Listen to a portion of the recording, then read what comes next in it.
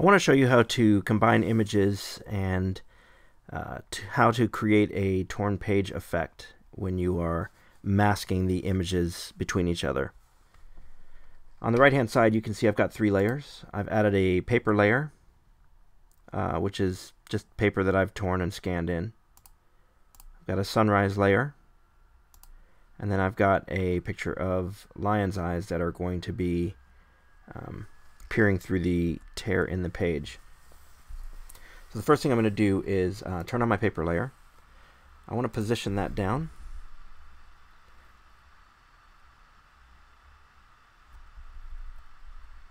to about there. I'm going to copy the paper with Command C. Command V to paste in another copy of it.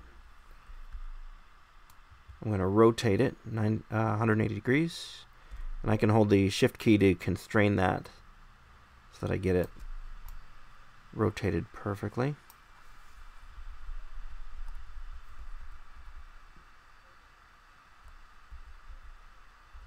And that's about how much of the uh, image of the lion that I want to see through the the uh, the other the sunrise image.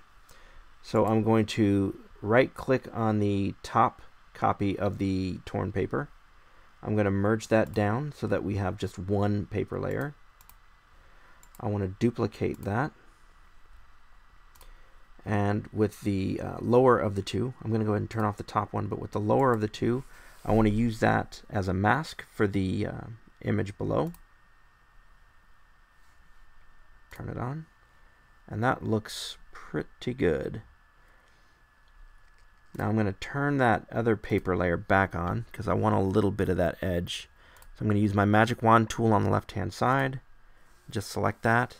In order to move this selection now, I have to switch to the lasso on the left.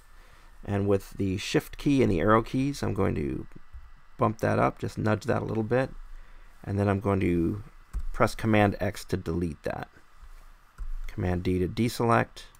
I'm going to repeat that with the bottom uh, half of the paper as well.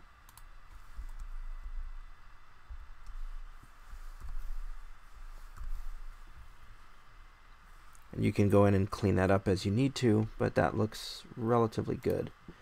Now we can go ahead and adjust some things a little bit. So um, I'm going to add an effect, I think, to this top page. So we're going to click on FX on the uh, Layers palette.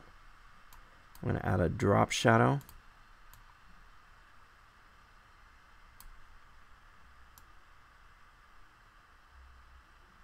That actually looked pretty good where it was. So I've got an opacity of about 60%. percent. Give it a radius of uh, exactly 45. Offset of about, let's see what 30 looks like. Not bad. An intensity of, let's say, 55. And the blend mode, we want to go ahead and change that to multiply. And the one last thing that I'd like to do is just adjust the colors on that, uh, that lion's face. So I'm going to add a an adjustment layer. Let's go ahead and do a hue saturation luminosity adjustment layer.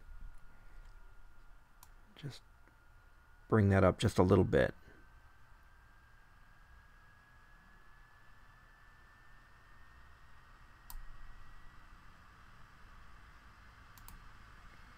And I want to go ahead and make that specific to the lion's image so I can drag that in. Again if you didn't see that um, just dragging it to the left of the icon for that image layer.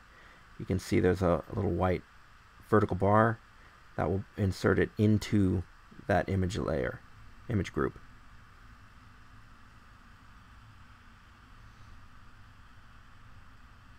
If you have suggestions for other tutorials or comments, go ahead and leave those below.